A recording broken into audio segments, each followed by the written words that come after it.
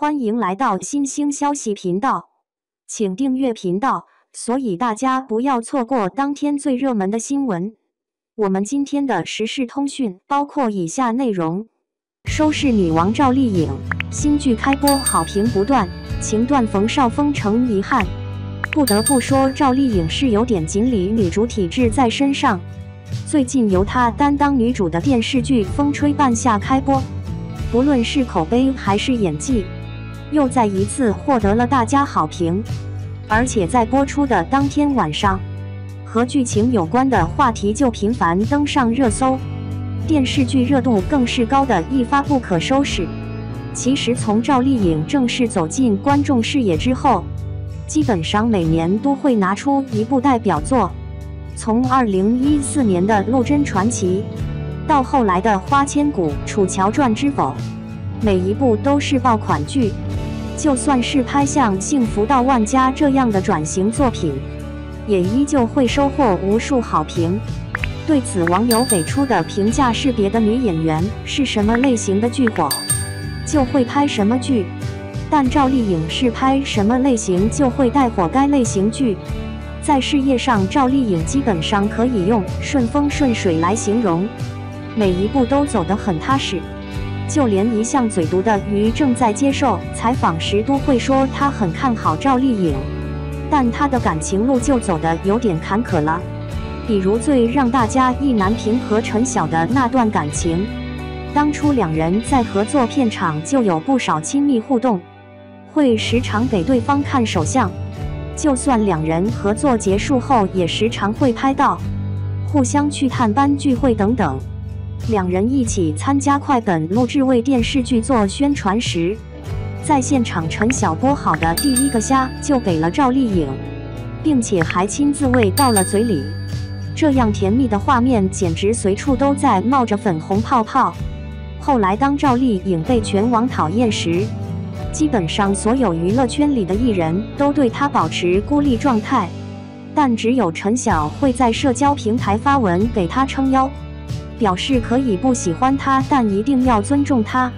后来在一起接受采访时，主持人问过两人是不是情侣关系时，两人虽都没有给出正面回应，但一起低头笑的样子，貌似已经给出了最好的答案。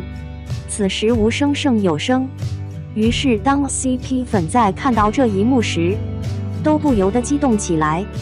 可惜让大家以为假戏真做的陈晓赵丽颖，最后还是因为陈妍希的出现，彻底粉碎了 CP 粉的梦想。那时候陈晓和陈妍希合作《神雕侠侣》，在拍摄过程中，两人逐渐产生了感情。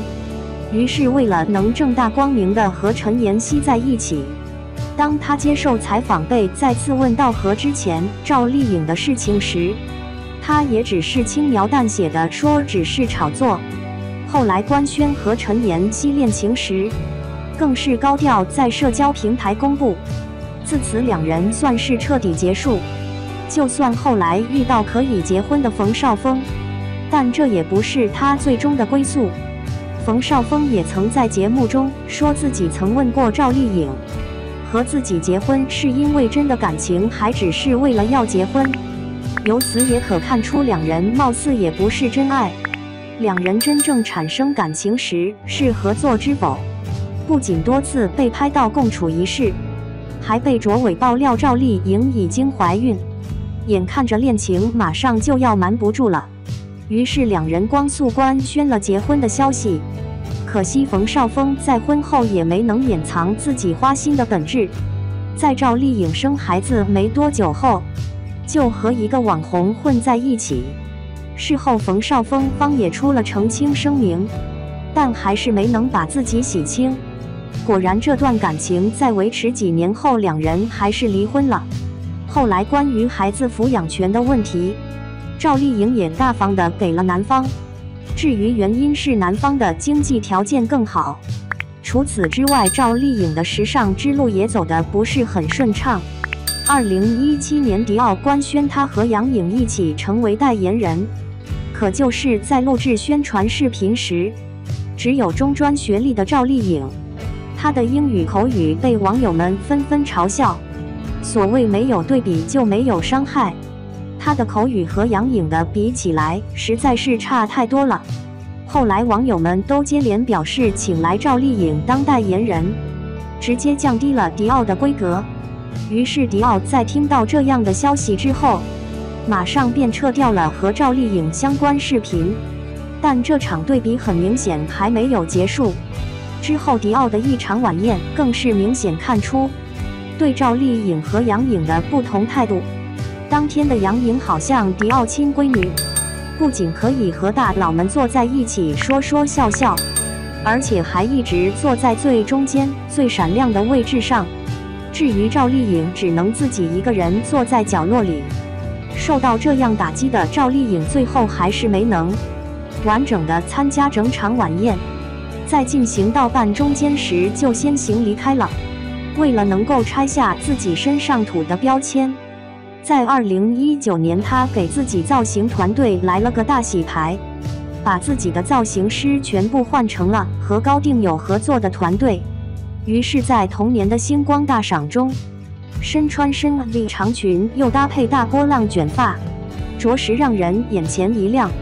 除了在造型上苦下功夫外，赵丽颖也在努力提升自己内在涵养，比如说英语。后来终于在一场浪琴手表的活动上，因为有着一口流利的英语口语和标准发音，给自己成功扳回一局。除了提升自己外，赵丽颖也是绝对的宠粉。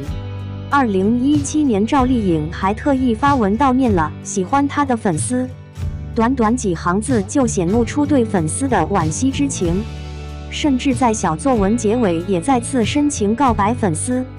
当然了，赵丽颖和粉丝之间的这份爱是双向奔赴的。此前，赵丽颖就曾经收到过一双只符合她脚尺码的水晶鞋，因为她脚太小的缘故，所以每次参加活动穿的鞋都不合脚。因此，这双水晶鞋的存在只是为了让赵丽颖穿礼服时有合适的鞋。这双鞋来自她的粉丝胖影飞刀。这名粉丝自从开始喜欢她，就自己学剪辑，为的只是可以把最真实的赵丽颖展示到大家面前。后来和赵丽颖见面时，他也做到了一个粉丝正确追星的样子，和赵丽颖浅浅拥抱了一下。这样双向奔赴的感情，着实让人感动。